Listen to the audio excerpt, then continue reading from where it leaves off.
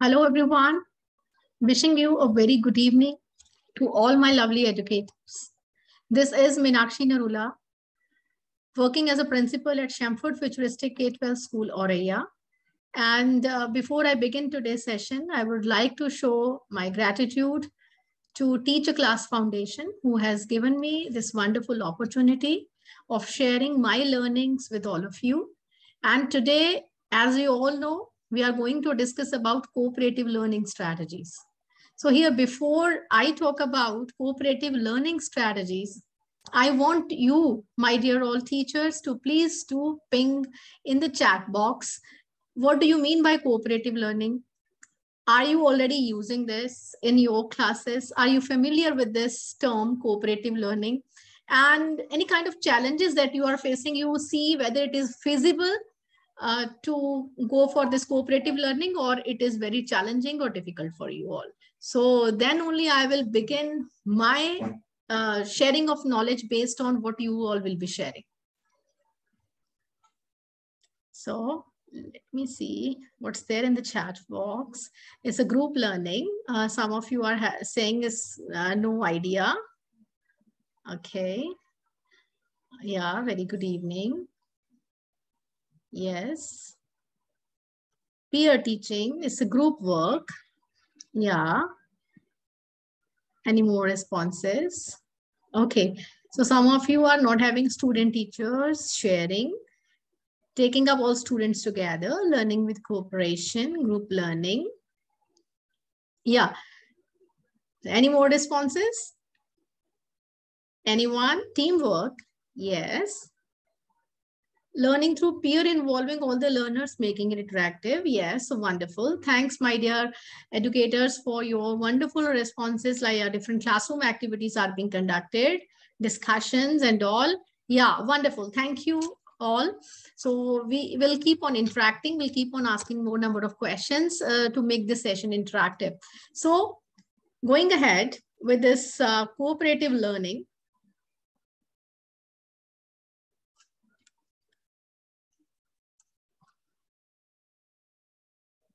We're going to talk about cooperative learning strategies today. As uh, most of you have already pinged in the chat box, it's a group work and the picture already depicts students, they work together in group. They're the small groups, right? So they keep on sharing their knowledge and information with each other. Now, who has given this idea about this cooperative learning? This idea has been given to us by Dr. Spencer Kagan. He has given cooperative learning structures in 1985 in his book, and then he keeps on sharing number of strategies cooperative learning strategies and what was the objective to enhance the student participation, right? As most of you have already pinged in the chat box, in our classroom, we conduct number of activities, number of group activities, where we ask our children either they are researching together, they are creating different kinds of posters or maybe another kind of activities that they are doing. But in each and every case, like suppose I have divided my uh, my class comprises of uh, 40 students and I have divided them in five groups of eight each, okay, eight members in each group. And then I will be assigning them some either collage making, either some research work, some project, some inquiry-based learning. I mean, something when they are doing in a group, I have given to them and I am uh, asked them, I have asked them you complete this project. And when they will be submitting the project, they will be submitting the project all together, right? I will be receiving eight projects from different different groups and i will not be able to get to know what is the contribution of each and every individual in that project that is a collaborative task when we ask our students to work together and they are working together collaboration is there and some of the shy students are there. They do not want to come forward. And some of the students uh, they just are some I, should not use this word but uh, lazy. I mean some of the students they just do not want to come forward I mean, they just take the due advantage of other students you might have observed in your classes too. Like uh, they ask others, okay, fine, you go ahead with that. You do it. Please, you do this for me. This will be better. I am busy. I'm engaged with so and so task. They try to give some kind of excuses. So in that case, if there are suppose uh, we have got eight groups of five each, maybe five groups of eight each, howsoever. So in that case, suppose there are eight members in a group, right? So eight members in a group, two children, they are maybe shy, they don't want to come forward. Two students, they are having some questions in their mind, uh, whether uh, my learnings, my research will be acceptable or not. Nobody should mock at me or some kind of questions are there. Okay, and two children, they are like that. Okay, fine, I do not want to come forward. They are always ready with the lame excuses or other. So, I mean, out of eight, only two are coming forward. They are sharing, and that is the presentation of those two children. Does it happen with you also? I mean, have you observed this kind of scenario in your classes? If you can ping in your chat box, yes, yes or no, then uh, we can talk about it. It happens, yes, yeah. Yes, you're saying yes.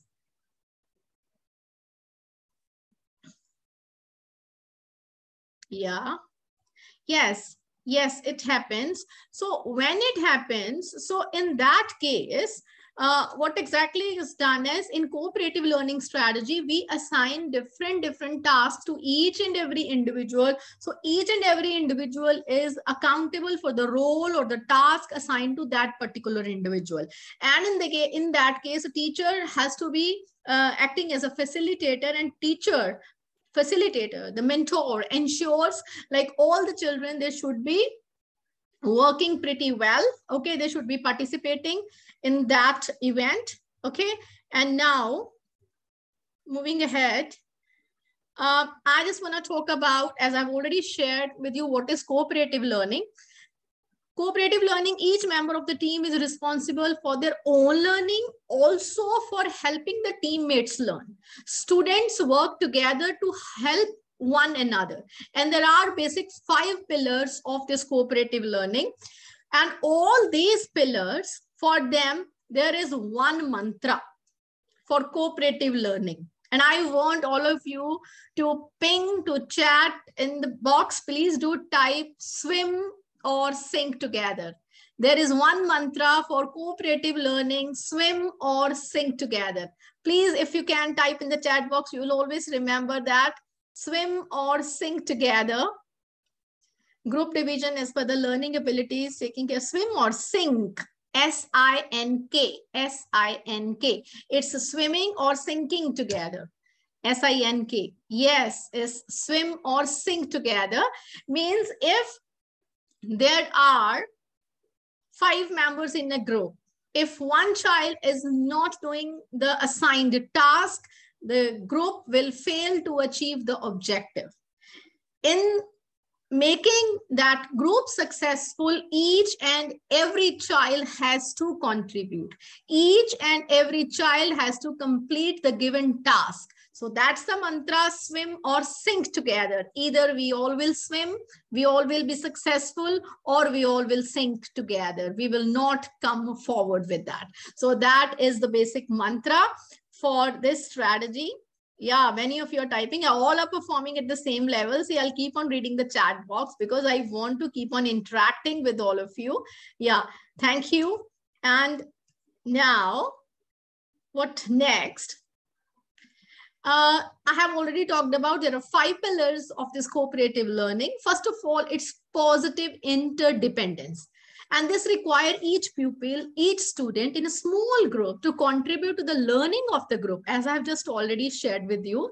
And the pupils or the students, they are required to work in a way so that each group member needs the others to complete the task. And it is a feeling of one for all and all for one. So, I mean, these are basic punchlines that you all uh, should remember. Earlier we said swim or sink together and now we are saying one for all and all for one. As in the picture, you can see a project or a task has been assigned to the students and each and every child is contributing in that to make that project, to make that activity a real success. So the children, they are positively dependent upon each other. There is interdependence and it's really not like that. There is no, uh, nothing, no place for jealousy, They are not getting envious. There is not competitive spirit, but there is collaboration amongst all the individuals because they know very well either they will sink or they will swim together, right? And they are meant all for one and one for all, right? So now the second one is individual accountability. Just look at the picture. Each and every individual has been specified a given task to complete a jigsaw puzzle as they are the parts of a puzzle. So they will be completed when all the parts of the puzzle, they are at the proper places. So every child takes the accountability of the work of the task assigned to them. And there is nothing, I mean, it is important that there, there should not be any hitchhiking on the work.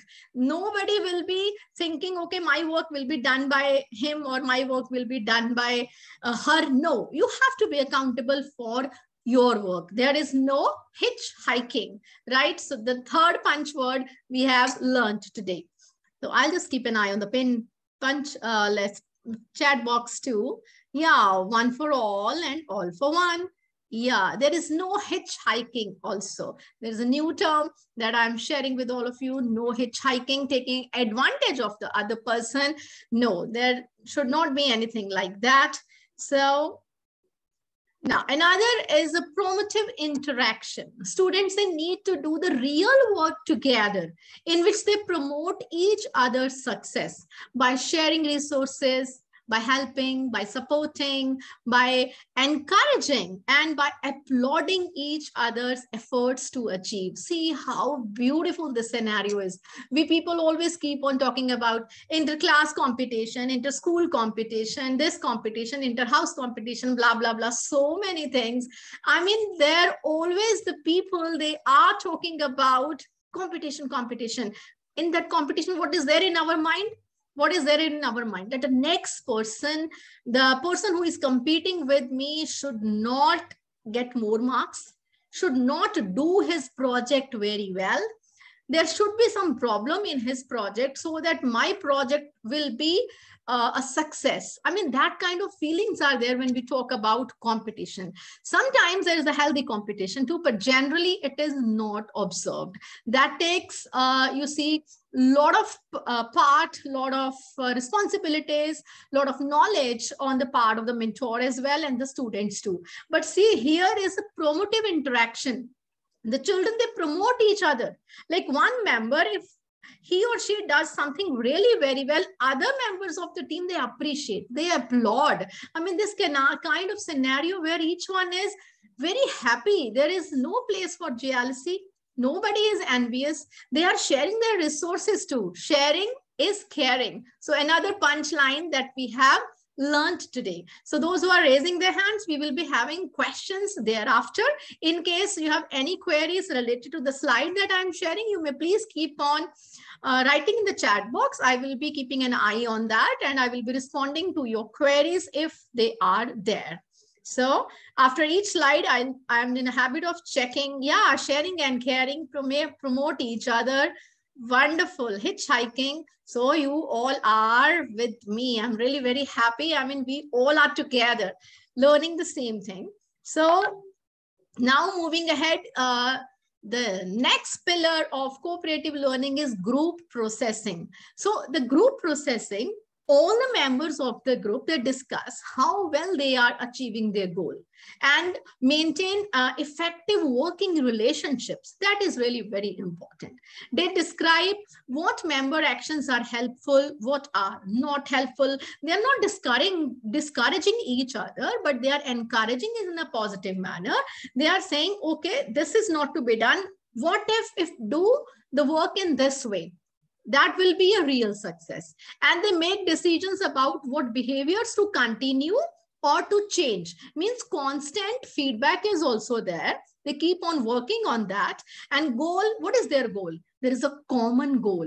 There is a common goal what? Swim or sing together? They know very well. If they will be helping each other then only they will be getting success. So goal is to improve the task work and teamwork of the next project. After completing a task because step by step step by step when they will be achieving small milestones then only they will be able to achieve their goal. See we are in our school we are having a vision. We are having a mission. Vision is our goal. And mission that is a roadmap that we design to achieve that vision. So this group a particular group I'm talking about, they have been assigned a particular task. They have to achieve a goal. And then they design their small, small milestones. When they achieve miles, milestone, one step, they become very happy. And then a second, then second, then they keep on helping each other. They keep on planning about their next milestone see uh, those who know in the company uh, there is assembly line the products they are being made one step second step third step so that's why we get the product finishing done. So this is how they keep a track on the different milestone, different steps. One step, if they are not doing proper, they will not be able to go ahead to the next step, right? So they always keep a track, they keep on analyzing. Thus, we are developing on the higher order thinking skills as well. And if we go for Bloom's taxonomy, I will not be sharing the same in detail because we will be uh, talking about cooperative learning, but I just would like to tell you in a Bloom's taxonomy, when there are, how many levels? Ping in the chat box. How many levels in a Bloom's taxonomy? Just write the number. Yeah, five, six. There are six uh, steps. Yeah, six uh, uh steps are there. First of all, uh, so we have divided six into two parts, lots and hots. Lower order thinking skills and then higher order thinking skills right? Lots in lots we have got three parts.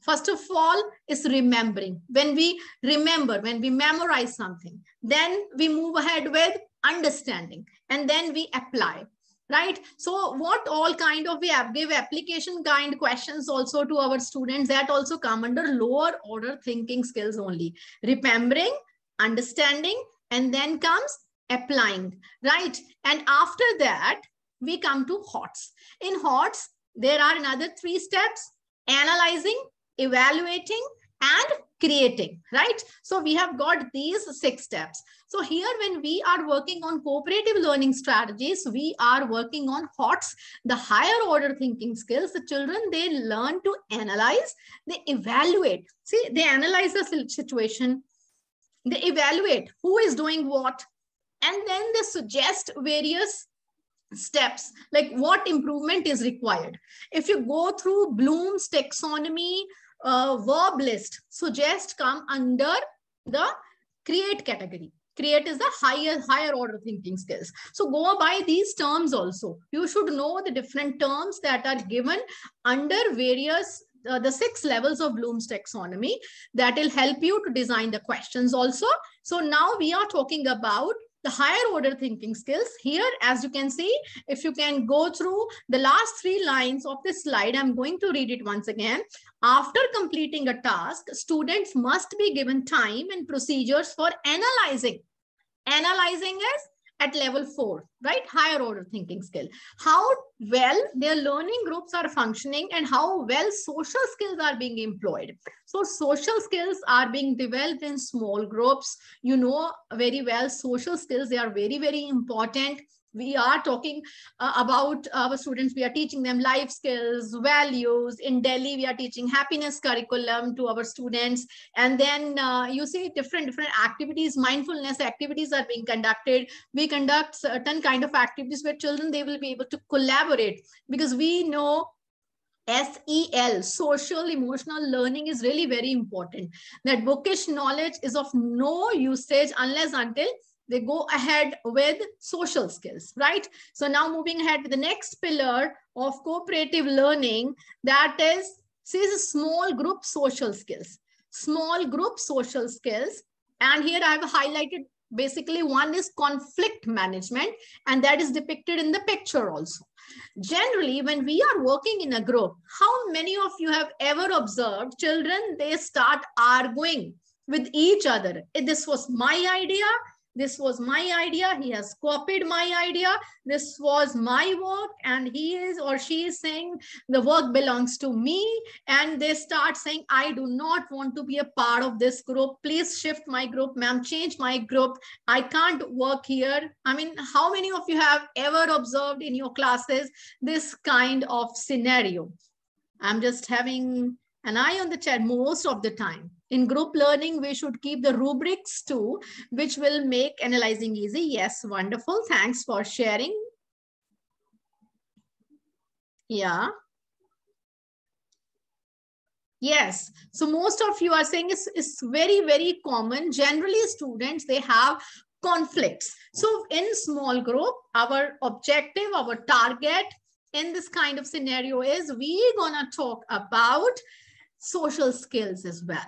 Students, they learn academic subjects, that is a task that they are doing, and the interpersonal skills as well in small groups, teamwork, collaboration, applauding, appreciating each other's work, sharing resources, mutual respect. I mean, all these things are really very important. So given the complexity of these skills, teachers, they encourage much higher performance by teaching cooperative skill components within a cooperative lesson as students develop these skills, later group projects will probably run more smoothly and efficiently than early ones. Now, what does it mean? I mean, initially we will have this kind of difficulty, but slowly and gradually when we will make this a part and parcel of our classroom, right? Initially, we may have some kind of glitches are there, some uh, teething problems may be there, but slowly and gradually, the children, they'll understand our language, we understand their language, they'll start understanding each other, and slowly and gradually, the groups, they'll come together so wonderfully. And some of the key skills I have listed over here, effective leadership that is developed. On rotation, you give the leadership roles in groups. If there are five members, you keep on rotating the role of a leader. Decision making skills they are developed. Trust building is there. Communication, conflict resolution is there. When they know, like initially, you may also have to pitch in to resolve their conflicts but slowly and gradually they'll also understand we need to manage if there would be any kind of conflict in our group we will we will swim or sink if there will be any kind of conflict, then what will happen? We all will swim or sink. Any kind of conflict means there is no coordination, there is no cooperation in the group. So we all are sinking together. So they'll understand, right? Thanks all for responding and uh, keep buzzing the chat box. So moving ahead. So here is a glimpse of the five elements or the five pillars of cooperative learning. We have discussed all five positive interdependence, individual accountability, promotive interaction or the face-to-face -face interaction, interpersonal small group social skills and group processing. They are working in a group. So we have discussed about all five pillars. Now quickly have a glance at the benefits. Benefits of uh, this cooperative learning promotes learning and achievement. It promotes learning. When each and every child is taking the accountability of the task assigned, he or she knows very well, like my little contribution will be helpful in the success of my group. They will be taking the responsibility. We say, boond, boond se sagar hai. Each and every drop is important for the ocean, right? So retention, it increases the retention of the students also. See, when I am talking in a class, I'm speaking, like I am just sharing something, lecture method, only one uh, sense is involved. Only we are listening. We are just visualizing the teacher. And teacher, when uh, asks us to write, one more skill uh, sense is being used. When teacher asks shows us some visual another sense is used. The more number of senses are involved the more is the learning right? This so you all must agree the more will be the learning. So here students they are working together in a group. They are researching. They are kinesthetic learning is happening. They are moving here and there. They are researching right? And all the senses are being involved they are working together communication speaking listening to others also and then analyzing the information also whether the research work done by a particular member is up to the mark or not. Analyzing evaluating higher order thinking skills. So their more concentration is being involved. So they retain it for a longer period of time. Student satisfaction. Students really get satisfied because they will be having some questions too. That first of all they'll be posing to the peer group and then finally if the peer group is not able to give the satisfactory answer they will be those queries will be pacified by the teacher. And then four c's. What are the four c's quickly ping in the chat box what are the four C's. They are really very common. You know very well, collaboration, communication, critical thinking, and creativity. Yeah, peer learning is helpful. Yes, peer learning, they're learning from each other. Thank you. Yeah, so here you go. So four C's, these four C's critical thinking. They are critically evaluating whether the research work, whether the work, whether any particular part assigned to a particular person has been done to up to the mark or not, right? And creativity, they are coming up with the creative skills as well, innovative ideas because they have to do the level best, something innovative as compared to the other groups. And then uh, communication, they're communicating within a group, collaborating together. So all the four C's, 21st century skills that we talk about, they are being developed and social skills and self-esteem is enhanced. So these are just a few benefits that I have listed over here. Otherwise, you can count number of benefits are there, right? So even if we achieve these, we achieve a great success, let me tell you. So uh, if you talk about characteristics of the cooperative learning, uh, the strategies and all, self and group learning need not to explain. You know very well. We are learning, we are making our group learn too. Cooperative environment, sharing with each other. And this, I really would like to uh, stress upon small groups, but small heterogeneous groups. You will not be dividing the students like all students who are uh, below average, they are in one group. Who are in uh, average, they're in one group. Who are extraordinary gifted, they are one group. No, please go ahead with a heterogeneous group where you being a class teacher, you being a subject teacher, you know their performance. Some students, they are shy.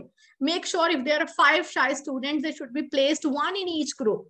One there are some students who are having leadership skills. They should not be all together put in a one group. They should be divided in different groups so that each and every group will be having students of different nature, of different learning styles, of different caliber. So that will help them work on the group and uh, certainly will be very fruitful for the group's uh, contribution and group's result.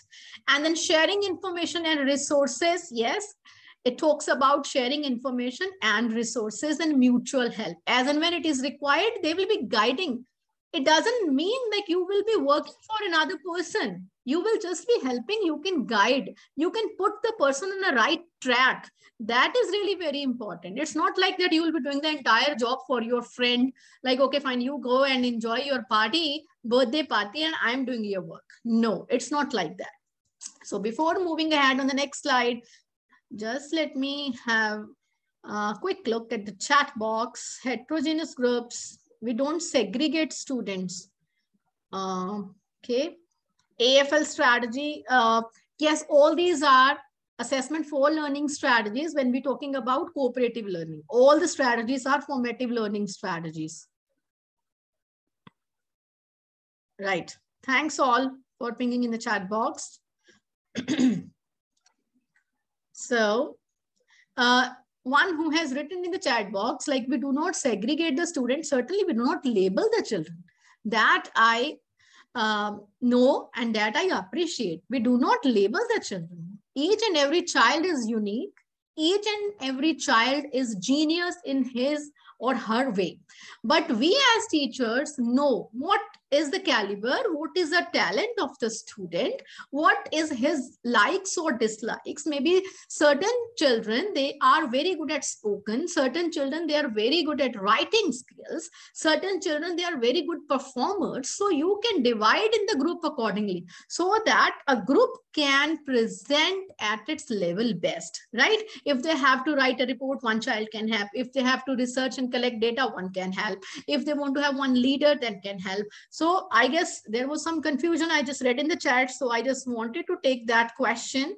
So yeah, okay, all right. Thank you. So now moving ahead, I am going to talk about, uh, as per the paucity of time, I will be uh, sharing with you a few cooperative learning strategies. The rest we can have one more session on that also because see one hour is insufficient to talk about different kinds of cooperative learning strategies.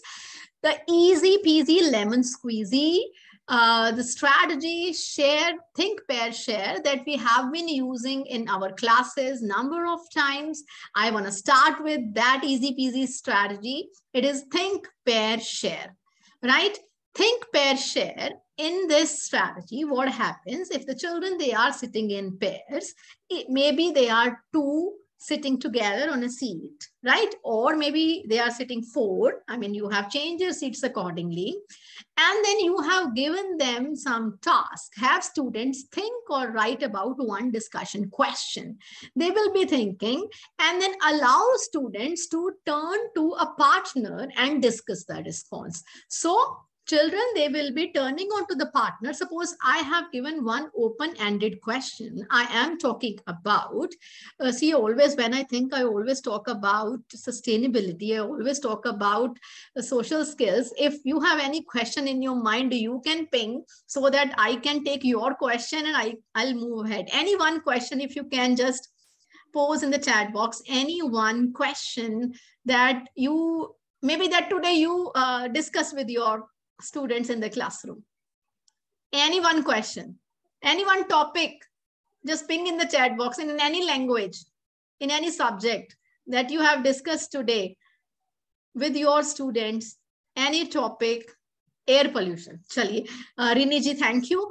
Air pollution. So if I have to discuss about air pollution, I want to ask my children to suggest some ways to reduce air pollution. Now, the child at seat number one will write a few points related to that.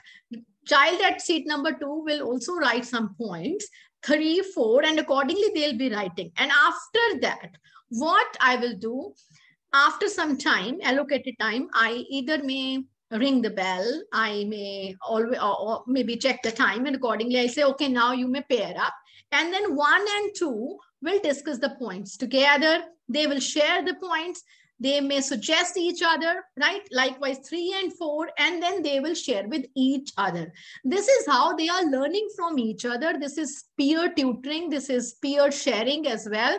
This is a think, pair, share strategy. I mean, everybody is having his or her own experience. So they will be sharing their experience, their learning with, with each other. Maybe one child is from urban background, another is from rural background.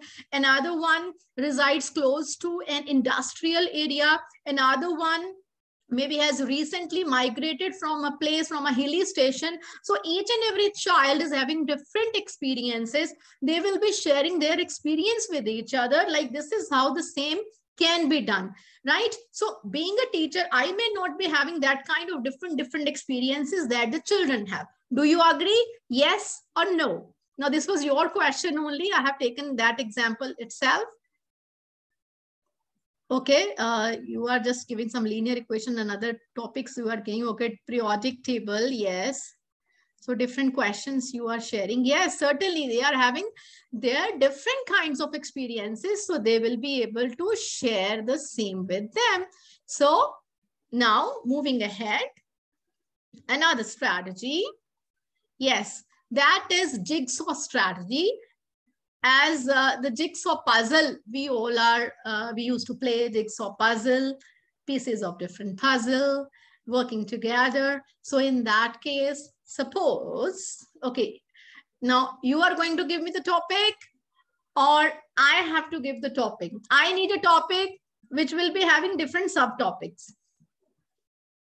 Yes. Let me check the chat box. Let me keep an eye on the time also. Air, yeah air different types of pollution we have already taken. Okay. Laws of motion. Okay great. So let me talk about that laws of motion. So here when we are talking about laws of motion newton's first law of motion second law of motion third law of motion right? So i will divide my class into four groups. I'll say group number one, you have to research something related to Newton. Okay, something related to Newton about uh, his, you have to write about the biography, you have to research about Newton, who was Newton, how, what about his inventions and all general things they'll be researching. Now I'll decide, uh, divide group number two, you have to uh, discuss, you have to research about first law of motion, then second law of motion, then third law of motion, or accordingly you will divide the class. Now the children in a group there are four children they are researching. You have assigned them some task. Apne ghar they'll be going to their home. There they will be researching. You can share some materials some fruitful links with them. They can read some books. They can go to the library. They can they they will be doing something at their home. When they'll be coming to the class let them sit together in groups and then share the information what they have researched about a particular assigned topic that was given to them.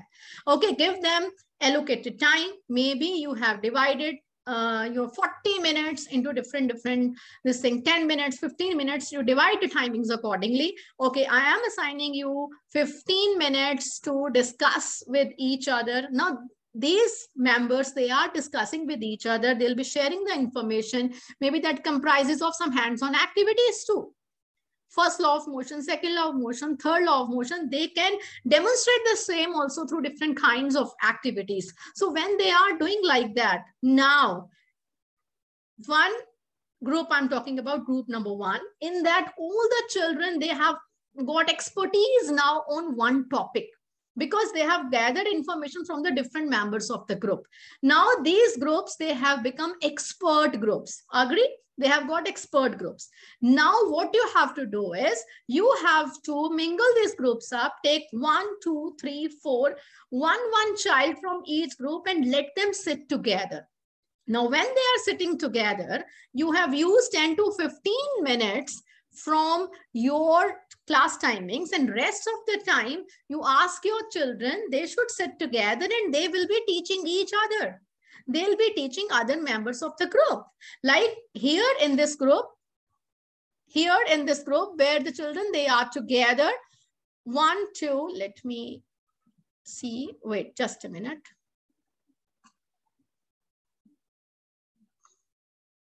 So here, when I am talking about, see here, one, two, I guess spotlight is visible now. One, two, three, four. Now, number one, the child is expert in each group. Number one child is expert and the child will be giving a brief about Newton, about his studies, about his birth, about his research, about his life.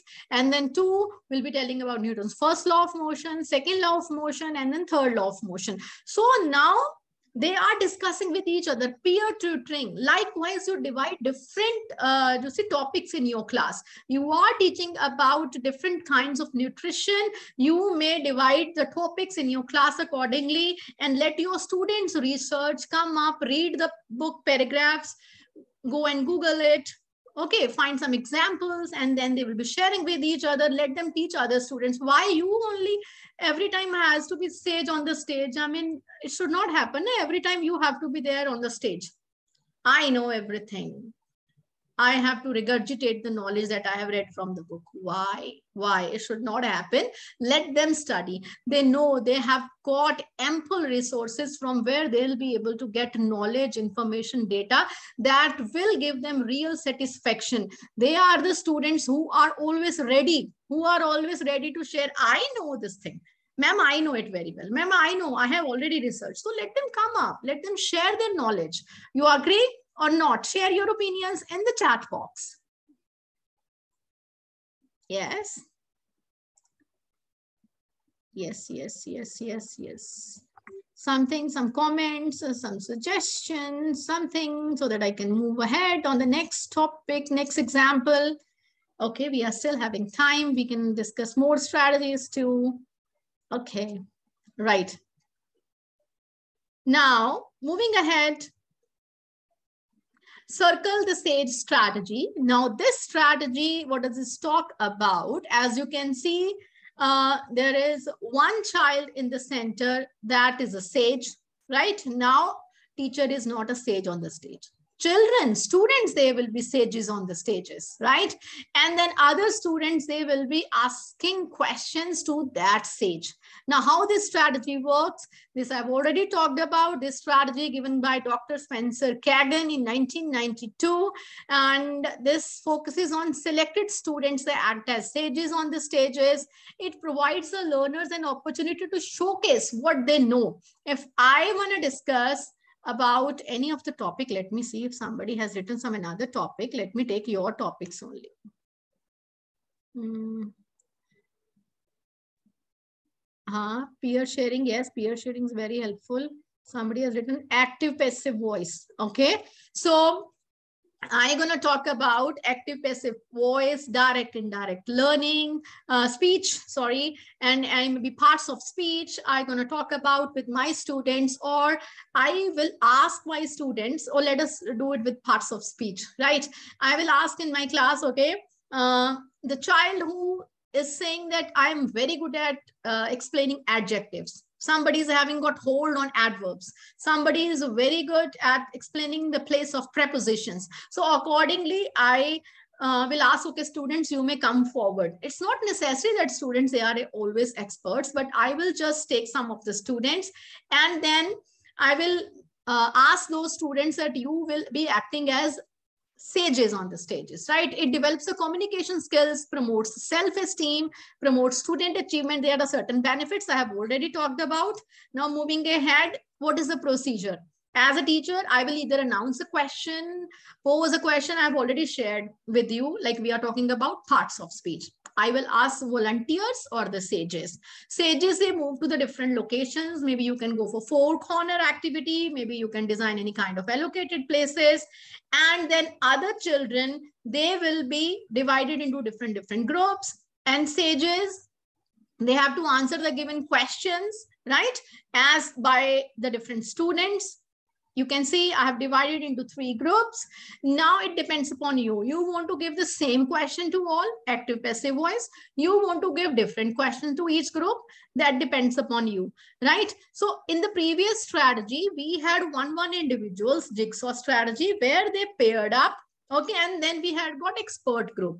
But here, there are some sages. They are sharing the information with each other and other they're answering other students questions. Students they return to their teams right? Now students they will go back to their teams they, these students they have come from different different teams and then they will be discussing their learning and the notes related to suppose we have taken active passive voice or maybe parts of speech. Like i have learned from sage number one this. Second child say i will have learned from sage number two this Third will say, I have learned from stage number three this. And then they are sharing their learning together. They will be analyzing and then they will be creating their own manual from that. Like this is our learning and they'll be able to give their suggestions too. So this is the circle, uh, this is strategy. And the benefits are develops leadership skills, four C's, students inform, uh, retain the information better. All are the same benefits that we we can already we can visualize from that. The last strategy that I'm going to discuss as per the paucity of time is mix, freeze, pair strategy. In that strategy, you see, uh, we have divided the children in different groups. Classmates mix by walking quietly. Now, let me tell you, suppose I have got chits of various kinds of questions and I have got 40 students in my class. I will develop 40 chits or maybe some extra too, right? So 40 chits, I will be giving chits to each and every student. They will be picking up from the bowl maybe. So there are different versions, variations of the strategy. So now when they'll be taking the chits, if it is allowed, you can play a music also in the classroom as per your organization's rules. Or generally, you can have a bell too. Then the children, they will be moving, right? And then teacher will announce stop or maybe freeze. First, we have mixed, then freeze. And then the students, they have to open the chits given to them. Maybe it is a word meaning, maybe it is a synonym, maybe it is antonym, any kind of activity that is there. So accordingly, children, they have to spend some time during freeze time. They have to see what this question is all about. And then they have to find the pair by moving in the class. So kinesthetic learning, this may create some disturbance in the class if there are more number of students. So it works well when in which schools where there is less teacher student ratio in a classroom or slowly and gradually if you guide your children they'll be able to manage the same now i'll be telling you the another version of this uh, strategy you may ask your students like pairs to discuss the given question mix freeze pair strategy. This is a kind of thing, pair share strategy also. Pairs they discuss and then they share with the teacher and repeat with the different question. You have shared questions with the different pairs. One child speaks and then another child speaks. They will be sharing, right? Mix, pair, share. And then for the next question, when you will be sharing the next question, you have to change the pairs right? You see, the first pair, second pair, third pair. They are having their own opinions. So now, then in the next question, you will be changing the pairs so that everybody will get chance to collaborate with each other. So this was all about cooperative learning uh, strategies as per the timings. I could not share more strategies with you. Next time, we may have more number of strategies. Now, let me quickly have a look at the chat box before I uh, hand over it to you, the host for the day. Let me have a quick look at the chat box if there are any questions. Thank you for your wonderful comments. It will take more time. Yes, certainly it will take more time, but it depends upon the number of students.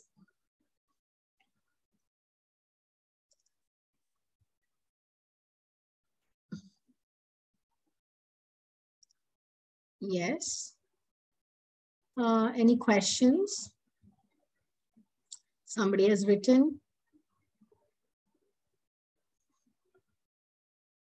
Name of the strategy that used to teach uh, parts of speech. See, circle the sage strategy. And uh, there was one carousel strategy also that you can also use. A number of strategy that is also a wonderful strategy. It's a, uh, you see version of a station rotation strategy. It's a kind of that strategy. We will be talking about that uh, somebody saying i'm not getting i mean you are not getting you're not understanding or you're not getting the link for the uh, feedback.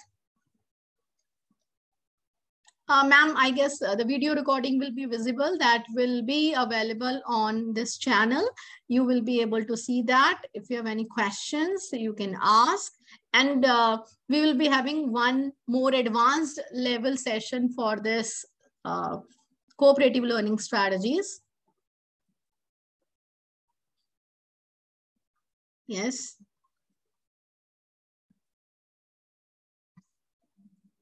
Any other questions if you have? No, ma'am. No more questions left with us. Thank you. I'll just stop sharing my screen. Thank you. Thank you, Meenakshi ma'am, for your time. Thank you, participants, for joining. Have a good evening. Thank you. Thank you so much.